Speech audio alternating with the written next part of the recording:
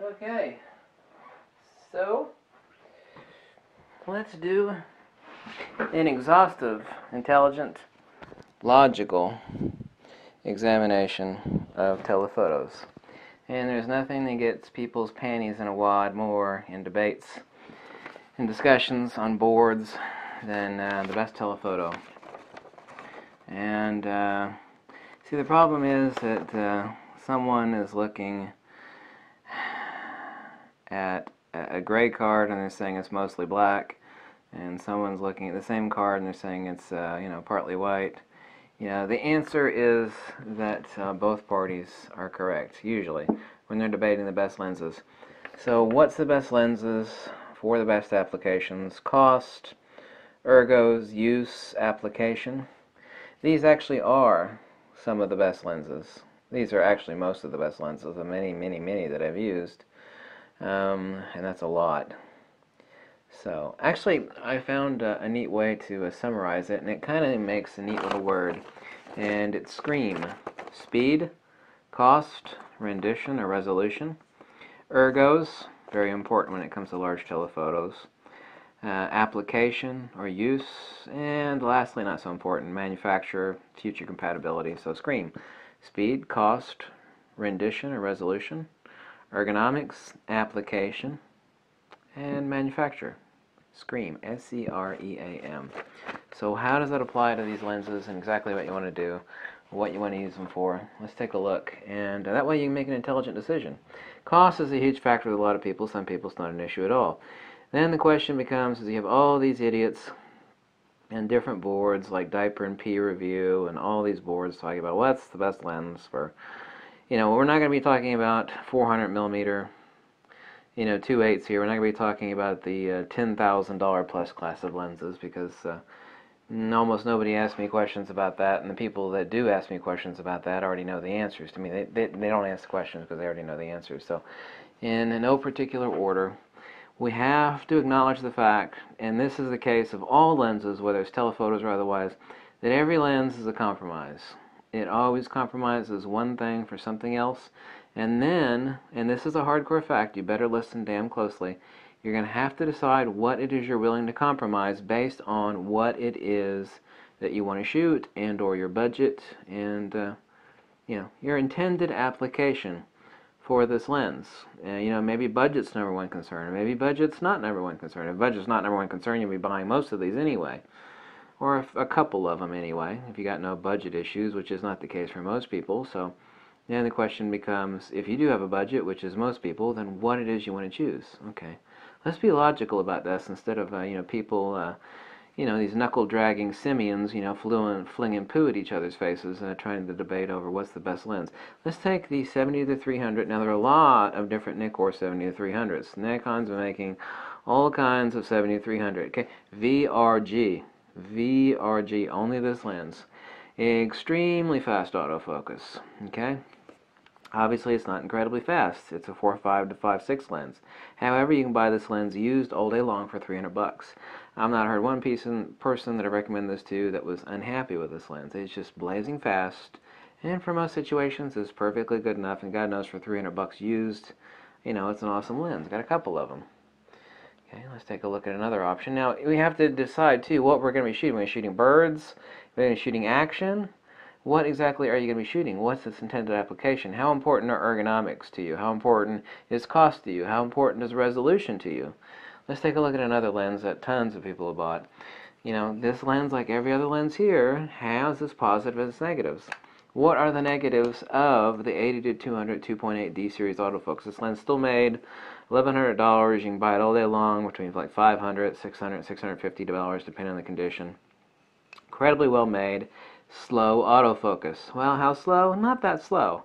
How is it uh, compared to the Tamron, the 70 200 2.8, and the Zippen from one end to the other? It's about 35% slower. So, I mean, is that not so you can't take action shots with this? Yes, you can. What are the huge advantages of this lens over the Tamron, for example? Low element count relative to the Tamron for certain. This has a lot of beautiful prime qualities. The rendition on this is exquisite. Uh, the resolution is only a hair worse than the Tamron, but it's an exquisite lens. It's cheap. It's well built. It's made like a tank. The other issue that this lens has, and even Nikon warns users of this, people complain about back focus. Like, what are you shooting at? The answer is always the same. They're shooting it indoors and testing it at something underneath about 20 feet. It's like, well, it's meant to focus at that range. Nikon warns not using this lens. You know, you know, it's not for indoor portraiture. Let's put it that way. You're not going to stand back 15 feet and take portrait shots of this. You can. Have back focus issues. This lens is not meant for close quarters use. You know, it's perfectly perfect for weddings, wedding receptions, uh, most things. Um, is it fast enough uh, for horse races? Yeah, it certainly is. Is it be fast enough to capture motorcyclists coming around the a blind turn? No, this wouldn't be the lens for that. So the one thing where this uh, is uh, deficient is in close quarters use, which Nikon warns you not to use it for that, and also an autofocus speed. However, the cost, you know, $600 for an exquisite copy from Japan and the United States, as opposed to the Tamron 70 to 200 2.8 VC. This lens is, uh, I think, $1,150 uh, uh, new. Typically, you can find it for like $1,000 uh, used and cheaper than that, the gray market. Blazing fast autofocus. Wham! Right there. Issues. This thing's got 23 glass elements in it. It has uh, color saturation issues. It's incredibly sharp. It's got rendition issues. You know, um, there's a lot of stuff you can tweak and post. Um, certainly, you can't add information that was never there to begin with on the raw file and the digital negative, but this lens is exquisite. It's blazing fast autofocus. It's a dreamboat, and it has vibration control. 80 to 200, no vibration control. 70 to 300 does have vibration control. What else? Well, you're not going to really find a used copy for underneath about a thousand dollars, at least not one uh, that I would trust uh, buying from anybody. So this has its deficiencies and its pluses over the Tamron, and the Tamron has its deficiencies and pluses over the 70 to uh, 200 uh, Nikkor. Um, a faster lens at 300 millimeters going to some of the longer focals, but before we get to that, here's another lens, not blazing fast autofocus. This is also a screw drive, like the D series autofocus 80 to 200 here. This is this lens is just the tits. It's incredible. It's the 100. Now all of these lenses, except for this baby right here, um, and this older AI lens, uh, are still made. This old D series autofocus 100, 180 millimeter f2.8 built-in metal lens hood um, is exquisite. It's divine. It's sublime. Outdoor portraiture, and to uh, utilize that uh, perfect lens compression it's exquisite. It's just, it's the color saturation, the depth, and the beauty on this lens is exquisite. It's just unrivaled. It's, it's just awesome. 180 millimeter f2.8. Typically, you can find these for like 300 $350 used. Um, new, it's uh, skyrocketed uh, new. It's still made. I think it's right at $1,050 uh, new. Um, but this lens is unmatched. But if you're going to use this for sports or action or something, you know, forget about it. It's not fast enough. It's plenty fast enough for a lot of stuff, but not fast enough for, you know, quite a few things also. So it's not meant for that. All of these lenses are exquisite and for what they're designed for, but there is no lens, it doesn't matter if it's something here you see or something you don't see here, they're never perfect across the board. Every lens, it doesn't exist yet.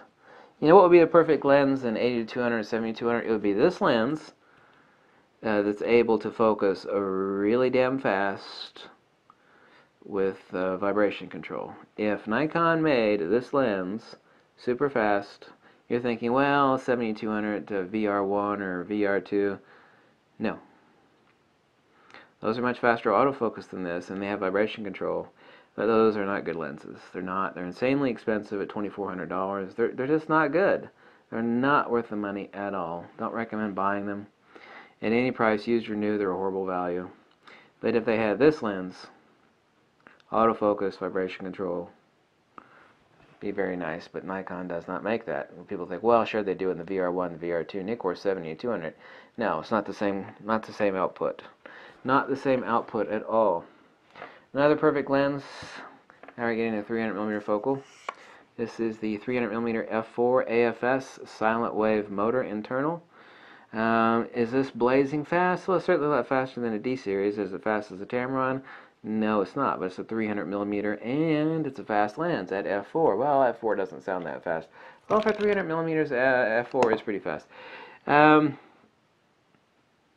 no, used like new, uh, 700, low as 650, typically 700, 750 dollars. That's the AF. Bird photographers love the hell out of this lens. It's a beautiful prime, exquisite output. It's unmatched.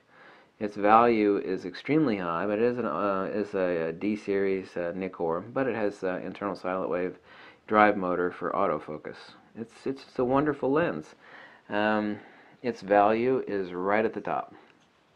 Right at the top. And I know what you're thinking about these since these are two manual focus lenses, and a lot of people never consider these, and what they're thinking of is cheap Chinese junk uh, mirror lenses, which are crap but this is a genuine Nikkor 500 millimeter f8. It's like, oh, f8, that's not very fast. Oh yeah, outdoors, it's plenty fast. It's manual focus, right? If you're not very good at manual focus, uh, especially on a, uh, a Nikon, that's an issue. However, this is perfect on a mirrorless camera. It's like, well, you may not on a mirrorless camera. You got focus peaking on there. This lens is 500, you know, this lens is 300 millimeters. You see this huge honker? This is 500 at f8.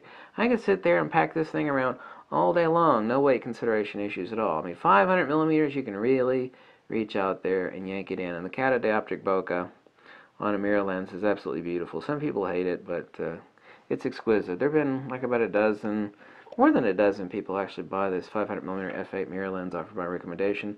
They are all insanely happy. Let me repeat that. They are insanely happy with this lens. Fixed aperture f8, you're not going to adjust the aperture. Everything's going to be, uh, you know, aperture par aperture priority or uh, you know manual. So you're certainly not going to take. Uh, um, you're not going to uh, be able to adjust the aperture on this little sucker, but uh, talking 200 250 dollars, sometimes cheaper on this lens. 200 bucks for a 500 millimeter. Camera's going to pick the shutter on this one, of course, though. No big deal. Uh, this huge chunker. Uh, obviously, this is not an autofocus version, but if you want an autofocus version, 300mm f2.8, it's going to run you a few thousand dollars. it depends on which version.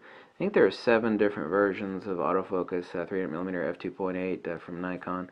This is uh, actually uh, the older uh, AIS uh, Nikkor 300mm f2.8 exquisite with a monopod you know manually focusing thing, this thing is just as smooth as hot butter. Um, to get that beautiful portraiture with that beautiful lens compression and that shallow depth of field at 2.8 taking outdoor portrait you know this is the thing that never enters in any photographer's mind. They're like I'm going to take some outdoor portraiture in an open field. You know I'm going to bring an 85 millimeter with me like, well, you know, that's okay. You can get it down there. Shallow depth of field, nice bokeh. How about this? How about you take advantage of some really spectacular lens compression, get back, take some fascinating shots with a 300mm f2.8. Why do you think you actually see professional photographers that can get closer to their subject if they want? You know, it's not like they're peeping toms, you know, snooping over somebody's uh, yard using this lens. It's, you know, a uh, consenting model or uh, you know consenting whatever you know that they can get closer to that they step back and use this lens for. What do you think they're stepping back and using a 300mm f2.8 for portraiture? Beautiful effect. This lens is exquisite. Um, a very simple robust built like a tank a low element count prime Every one of these lenses is best at what it was designed for and best at what it is, uh, you know, intended to be used for. The question becomes a matter of debate where people want to argue, well, this lens is better than this lens. No, no, no, this lens is better than this lens. The answer is that all parties are correct. The question becomes, what do you want to do with it? What's your cost factor? What's your application factor? I dropped my little list here on the floor. Cost, application. Oh, like an idiot, I dropped it. Yeah, speed. Duh. Made my little list. Speed. Autofocus speed. Sorry, I'm a little tired. I've been busy all last night. Speed. Cost. Autofocus speed. Ergonomics. What's your at intended application of use for this lens? Which one of these lenses? What's the priority in that? What's your priority on cost? What's your priority on application? What's your priority on resolution? What, what's your priority on rendition? Some people would rather have this because they love the super fast the autofocus speed and the vibration control. And some people would rather have this because this has much better color saturation, much better depth and rendition than the Tamron does. They can sacrifice uh, the autofocus speed and uh, you know the lack of uh, close focusing with this 80 to 200 2.8 D series and Nikkor. Also the fact that, that it's basically half as much as the Tamron 70 and 200 is. And additionally so, half as much as this lens again. Uh, the uh, 70 to uh, 300 uh, VRG. This lens is blazing fast autofocus. Blazing fast. It's not that fast of a lens as far as its, uh, its light gathering capability over a given unit of time, 4.5 to 5.6, but it has vibration control. 80 to 200 does not. It's blazing fast. 80 to 200 is not blazing fast. Can focus relatively short distances. 80 to 200 cannot do that. And it's $300. This one used the one you really good shape used but $600. So you have to prioritize what is important to you on those list of criteria as far as uh, resolution, application of use, autofocus speed, and cost. Prioritize those. Anyway, thanks for watching. If you like this video, drop me back or two. Uh, you can tell me to jump off a cliff, whatever makes you happy as long as I give you a well-informed, logical basis uh, to make a decision and informed conclusion upon, that's what's ultimately most important. Thanks. Okay? Bye.